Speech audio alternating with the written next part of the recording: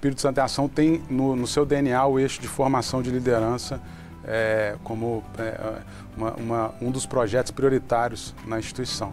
É, lá em 2010, é, olhou-se para modelos de formação de liderança uhum. é, e, e, trouxe aqui, a exemplo, o Instituto Líderes do Amanhã, foi fundado a partir de uma missão né, que o Espírito Santo em Ação fez lá em 2010. É, e esse foi um estudo que se desenvolveu aqui no Estado, chega agora já há 10 anos né, de, de, de, atuação, no décimo fórum, realizou recentemente um fórum com a, com a presença de, de, de mais de mil presentes e uma audiência de mais de 5 mil pessoas pelo YouTube.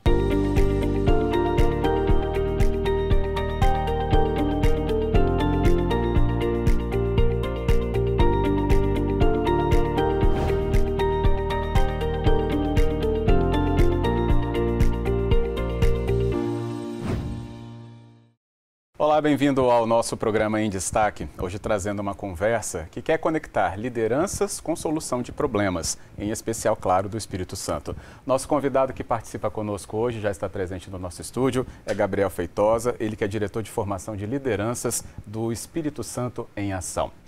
Gabriel, bem-vindo, obrigado pela presença. Muito obrigado, muito obrigado pelo convite, pela oportunidade de falar um pouquinho aí do, do Bilíder e do eixo de formação de liderança do Espírito Santo em Ação. Que bom. Justamente para entender, né, o programa Bilíder, ele já foi lançado, né, mais ou menos um ano, um pouco mais, Isso. e já trouxe uma proposta. A gente vai falar de um pouco mais de continuidade. Mas antes dessa continuidade, que é justamente né, o que está para acontecer em relação ao edital, queria entender com você o que, que é o Bilíder. Ah, é, eu, eu, digo assim, tem, tem, que contar um pouco da história que está envolvida diretamente com, com o Espírito Santo em Ação, que o Espírito Santo em Ação tem no, no seu DNA o eixo de formação de liderança é, como é, uma, uma, um dos projetos prioritários na instituição. É, lá em 2010, é, olhou-se para modelos de formação de liderança uhum. é, e, e, trouxe aqui, a exemplo, o Instituto Líderes do Amanhã, foi fundado a partir de uma missão né, que o Espírito Santo em Ação fez lá em 2010.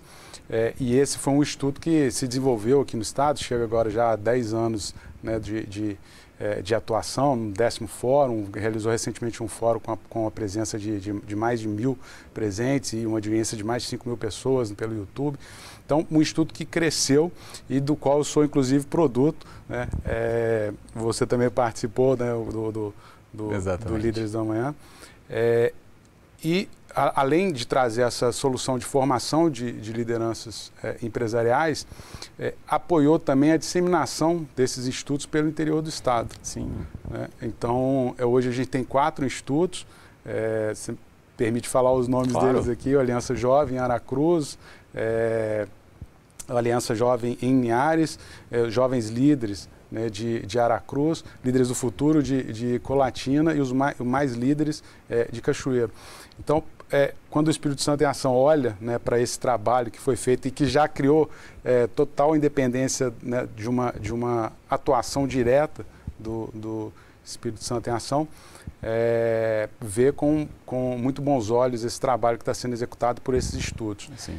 E aí veio a reflexão, é, agora que esses estudos já estão né, seguindo o seu caminho independente, como que a gente pode é, apoiar outras iniciativas é, e iniciativas que sejam mais amplas também, não só de formação de líderes empresariais, com, como são esses cinco estudos. E aí nasce a ideia é, do Belíder. Uhum. E no passo seguinte, quando a gente tem justamente né, esse ambiente mais propício, é, passa-se também, é claro, ter uma qualificação né, na, na, visão de tudo isso. Né? Uhum. E é o momento, acredito que é o que estamos chegando para essa conversa acontecer e também até trazer convites importantes para você que está nos acompanhando principalmente. Aí a gente tem então, Gabriel, qual o momento agora nessa reta final de 2022? É, a gente, então, é, o Belíder foi, nasce, foi nasceu, né, como você colocou, é, outubro do ano passado, e aí foi feito um trabalho é, é, de identificar e mapear institutos de formação de lideranças é, em quatro eixos: é, gestão pública, articulação Sim. política, empreendedorismo social e empreendedorismo. É, e foi, foi estabelecido acordos de cooperação entre esses institutos.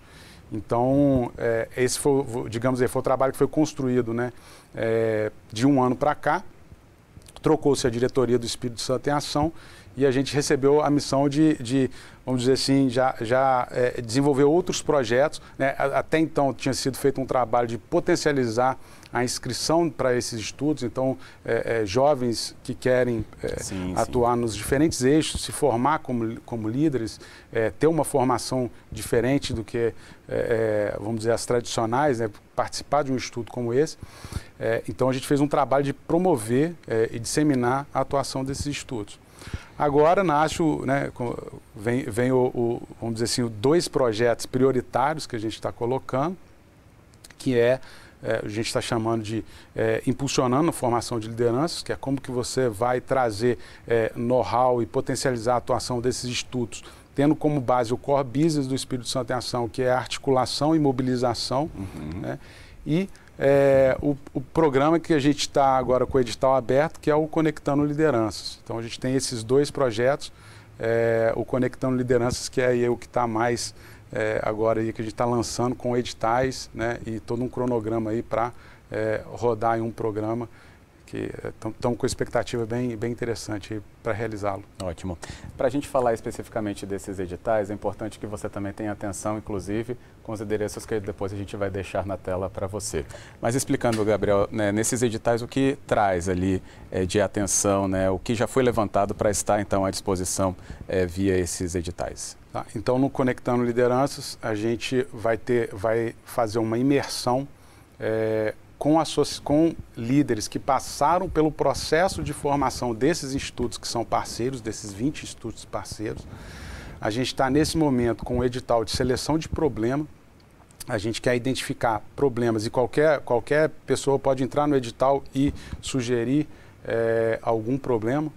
É, por exemplo, é, vamos dizer que licenciamento ambiental, o tempo médio de licenciamento ambiental hum. seja uma questão que, que as pessoas queiram é, é, explorar. Eu sei que isso, é, por exemplo, é uma demanda da rede empresarial. É, outro aspecto que a gente utiliza como exemplo, turismo é, em Guarapari. Como é, potencializar e tornar o turismo em Guarapari mais, não só sazonal, né? ter, ter ali uma, com mais frequência, etc. Então a gente está nesse momento de seleção do problema. depois a gente passa para a etapa de seleção dos associados, da, das pessoas que vão participar, dos líderes uhum. que vão hum. participar. Né? Isso, é, a seleção de problema, é, ela vai findar em meados de janeiro. É, a seleção dos líderes né, que vão participar dessa imersão é, vai ser ali de meados de janeiro até meados de fevereiro. A imersão em si acontece é, ao final de março. Né? Já tem, inclusive, 30 é, de março, a gente vai realizar essa imersão, uma ah, quinta-feira. E aí a gente vai realizar é, todo esse, a partir do problema que foi é, selecionado, é, levar os líderes para ter uma, uma imersão sobre esse problema. É, tem, tem, tem um aspecto da relevância, né, de, de como esse problema, acredito, né, pode estar... Tá é, gerando empecilhos até para investimentos acontecerem, né, ou abrir caminho para que investimentos aconteçam. Né? Então, acredito que essa relevância se dá a partir daí, portanto, qualquer área do Espírito Santo estaria né, contemplada quando, claro, apresentado, seguindo o, o regramento. E da partir daí, um 2023 que vai estar focado é, para trazer então essa leitura a partir de quem foi selecionado como liderança. Isso. A nossa ideia é rodar pelo menos é, duas imersões ah, é, tá. como essa. Né? Então, é, é, no, no, segundo semestre também de 23, é, ter mais uma imersão como essa. E aí, só para ficar mais claro e, e, exemplificar a partir da, da, dos problemas que eu mencionei, imagine então que você tem a questão do, do licenciamento ambiental. Vamos pegar Sim. ele como exemplo a gente vai é, juntar esses 20 líderes. A nossa ideia é colocar todos eles né, em, em, algum local físico, inclusive né, em algum hotel, por exemplo, que, que eles possam, que a gente possa potencializar essa conexão entre eles e, e, e que cria ali também é, uma comunidade. E a gente vai conversar com stakeholders é, que fazem parte do problema. Hum. Então, licenciamento ambiental, a gente precisa de conversar com o IEMA, a gente precisa de conversar com a Secretaria de Meio Ambiente, estaduais, municipais, a gente precisa de conversar e ouvir a perspectiva é, de indústrias e empresas que passaram por licenciamento ambiental e qual a visão deles. É, é, tudo isso com um, um, método por trás de solução de problemas complexos, né, de, ah, de okay. é, é, é problem-based learning, né, de solução baseada em, em problemas, É, e você vai fazer essa imersão é, com, esses, com esses jovens e depois, 15 dias depois da imersão, a ideia é convidar todos esses stakeholders que participaram dessa, dessa imersão e uh, os jovens, os líderes vão apresentar é, potenciais soluções para aquele problema. Né? É, a gente também quer trazer benchmarks né, de, de, de, é, de, de cidades, estados ou, por que não, nações que tenham é, é, colocado práticas de gestão, práticas públicas ou, ou, ou, soluções empresariais que resolveram aquele problema.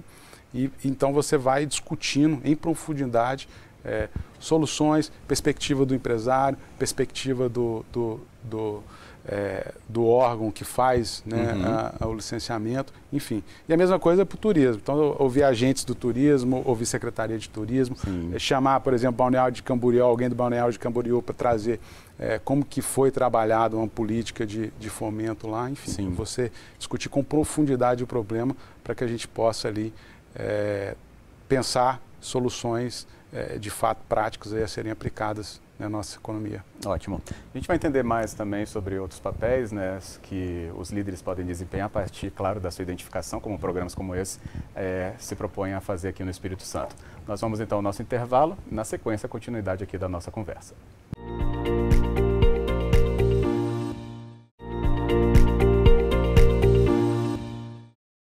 Volta com o nosso programa em destaque, continuando a nossa conversa com o convidado desta edição, que é Gabriel Feitosa, diretor de formação de lideranças do Espírito Santo em Ação. Nossa conversa que gira em torno, inclusive, sobre identificação de lideranças, problemáticas que essas lideranças podem atuar, em especial, claro, para o Espírito Santo avançar, né, Gabriel? Percebemos na, nas suas respostas do bloco anterior que a, a, a, a iniciativa privada junto ao poder público, pode trazer soluções muito mais rápidas e mais precisas para os problemas que temos. Sim. Até porque um não dá para fugir do outro em todas as vias, né? Portanto, quando se estabelece diálogos assim, né, dos problemas que serão levantados, como a gente entendeu nos editais, é, é, uma característica especial que o Espírito Santo em ação e a identificação das lideranças, como você acaba também atuando junto, é, traz é, um papel mais inédito para essa abordagem? É, eu acho que a gente tem uma. O próprio Espírito Santo em Ação ele é tido como uma referência de um movimento empresarial é, que se uniu ali para discutir pautas relevantes. É, já pautou, por exemplo, a agenda de planejamento de longo prazo, como 2025, 2030. É, então, o, o, o próprio é, Espírito Santo em Ação ele consegue justamente fazer esse trabalho de, de articulação com, com o setor público né, é, é, de uma forma muito natural. acaba sendo atuação dele de, de, nesse aspecto. E quando você traz é, essa competência ou é, esse, é, essa vantagem competitiva da entidade, de uma entidade como o Espírito Santo em Ação e, e, e justamente traz líderes que passaram por diferentes processos de formação. Né? É, tem, tem, tem instituto que forma professor que vai dar aula no, no ensino médio, então é um, um, engenheiro que vai ficar dois anos é, dando aula no ensino médio. É, tem instituto que está formando lideranças públicas como, como o CLP, o, anterior é o Ensina. Uhum. É, institutos que estão formando líderes empresariais. Então, quando você traz esse jovem que já passou por um processo de formação, é, associa ele a esse, essa vantagem do, competitiva do, do Espírito Santo em Ação de articular com entidades, com secretário, colo colocar é, é, esses jovens para discutirem com secretário de, de, meio ambiente, secretário de turismo, né, grandes empresários que passaram por processos é, de licenciamento ambiental, né, para ficar no mesmo exemplo. Uhum. É, isso, obviamente, também é uma oportunidade para aquele líder de é, é, criar ali né, sua própria rede, de, de se conectar com lideranças públicas, empresariais e obviamente, se desenvolver como líder a partir disso. Né? Então, é, eu diria que a, é, essa, essa relação que o Espírito Santo em Ação construiu a partir é, dessa articulação, dessa competência de articulação e mobilização, isso traz dentro desse programa, obviamente, esse core, esse core do, do, do Espírito Santo em Ação e leva isso né, para os líderes que vão participar. Uhum. Né? Tem um aspecto também, Fábio, que a gente acabei não, não mencionando. É, o nosso objetivo também é você, obviamente, vai ter diferentes líderes que estão passando por essa imersão. É, e o Espírito Santo em Ação, no longo prazo, também quer é, é vou chamar assim, de olhar para um, um, um funil de lideranças, né? É, e, e, ver pessoas, né, é, talentos ali que podem eventualmente ocupar posições de liderança relevantes é, no Estado. Então a gente quer criar uma comunidade ali uhum. que a gente também faça, é, é, é, vamos dizer assim, nutra essas, essas pessoas, esses líderes, com ações que o próprio Espírito Santo em Ação tem desenvolvido, como o, o, ensino básico, que tem sido um projeto prioritário na, na, na pauta do Espírito Santo em Ação. É, e você também mona ele de todos os projetos que estão acontecendo dentro do próprio Espírito Santo em Ação. E eu diria assim, uma, uma cerejinha do bolo aí também é esse líder, ele, a gente vai implantar pós-imersão um programa de mentoria. Então eu tenho ali no, no, no Espírito Santo em Ação é, é, grandes lideranças empresariais, né, que a gente vai conectar com esses líderes que passaram pelo processo de imersão e fazer um trabalho de mentoria. Então eu diria assim que é você, é você ter a oportunidade de, de ser mentorado, por exemplo, com é, seu Luiz Wagner Kieper, que foi diretor institucional da, da, da, do Grupo Águia Branca, né? sócio acionista do Grupo Águia Branca. Então a gente é, é, também quer desenvolver, olhar para essas lideranças e desenvolvê-las né, para que a gente tenha cada vez mais lideranças é, é, preparadas para assumir desafios. Fala-se tanto em lacunas de liderança, então a, a nossa proposta é justamente é, dar um passo com esse projeto, desenvolver, ganhar robustez e, a partir disso, é, olhar para essas lideranças e buscar desenvolvê-las também. Sim. Vou até reconectar com o ponto inicial, né, que foi a questão do projeto do Be-Leader, né, já em atuação via Espírito Santo em Ação, que é justamente identificar essas lideranças via os institutos. Né? Mas para quem ouve assim e não haver confusão, parece que quem é líder é quem hoje é chefe. Não, não, necessariamente não, é isso, né? Inclusive, é justamente o contrário, é para identificar pessoas que podem potencialmente, claro, com o ciclo de formação que cada instituto mantém, chegar a outros postos. Você pode até explicar melhor isso. É, dentro do, dos 20 institutos hoje que tem é, é, né, o acordo de cooperação com o Espírito Santo em Ação, você tem, por exemplo, é, o Sindes Jovem, que é ligado à, à, Federação das Indústrias, então são jovens lideranças que estão ligados a, a, alguma indústria. Você tem a Juniores, né, que é a é reunião das, da, do movimento Empresa Júnior. Então, são pessoas que estão passando, estão se formando na faculdade. Então, não são. É, é, liderança aí não é um, um, uh, um líder de, que está em cargo de diretor executivo de alguma empresa. Exatamente. São, são é, eu diria que é mais, é mais uma questão pessoal é, é, é, daquele, daquela pessoa, daquele jovem que busca é, se desenvolver e se aprimorar como liderança. Então, é quase que mais uma, uma soft skill, né? uma característica do, da, daquela pessoa que, que quer se desenvolver como liderança. Então, você tem entre os 20 institutos é, diferentes níveis. Né? Então, você, desde, desde do, do, do, da, do jovem que está se formando ali, como nas juniores, como no caso do Líderes do Amanhã, que tem pessoas que estão aí já é, com seus 35, 37 anos. Né? Mas definitivamente não é sobre posição, é, é sobre é, líderes que buscam se desenvolver. Que bom, aí fica mais acessível, inclusive, você acompanhar também outros passos com o programa, que você pode encontrar caminhos no próprio site do Espírito Santo em Ação. Agora, Gabriel, também sobre os problemas, eles estarão circuns, é, circunscritos a alguma área do Estado também? Ou todo o Espírito Santo pode apresentar uma temática para ser apresentada para buscar a solução? Perfeito. É, qualquer temática, a gente vai olhar como critério é, é, de seleção justamente a nossa capacidade de articular com os atores que fazem parte daquele, daquele problema. Né? Eu preciso de conversar com, com as pessoas diretamente envolvidas com aquele problema. Então, é, vamos supor, que se for um problema que, que envolva muita esfera nacional, e aí vai, eu vou ter dificuldade de trazer, vou usar um exemplo aqui, um, é, um ministro, um secretário, alguém é, é ligado ao, ao, governo federal. Sim. Então, por uma questão de é, transformar o, o, problema e aquela imersão em algo que a gente converse com todos, é, é, ou com boa parte dos stakeholders, ou diretamente com os principais né, envolvidos, é, a gente vai selecionar com base nesse critério. Mas a gente já teve aí, por exemplo, questões ligadas ao judiciário, que eu não imaginava que, que, que poderia sair. E é, que é, bom. E é um ponto é, interessante. É, então, acho que é, é, uma oportunidade também da gente abrir, com a participação né, do, do, do, das pessoas, né, abrir a cabeça para problemas que talvez a gente não, não esteja enxergando. Então, é, é quanto mais ideia, melhor. É, e aí a gente vai ter essa perspectiva mais abrangente né, dos problemas do, é, do Estado. A gente, mais, mais do que ser também um celeiro de políticas públicas, a gente quer criar nesse, nesses líderes que estão passando por essa imersão é, a visão de você olhar holisticamente para o problema é, e propor soluções para problemas complexos. Né? É, é, claro que a gente tem a expectativa de que isso se transforme efetivamente em Sim. práticas adotadas, seja pelo, pelo mercado privado, seja pela, pela iniciativa pública, mas é, a gente quer trabalhar esse processo é, contínuo de formação desses, desses líderes e aí sim envolvendo eles com diferentes atores dentro daquele problema que foi estabelecido. Que bom, exatamente. Então, a gente deixa o convite para você acompanhar esses editais também via Espírito Santo em Ação. Agora, para aproveitar o tempo, Gabriel, e toda a sua experiência, né, a sua diretoria dentro do Espírito Santo em Ação, quanto mais institutos formadores de lideranças, melhor. Né? Você citou alguns, mas acho que a gente tem espaço para muitos outros surgirem ainda mais, não é isso?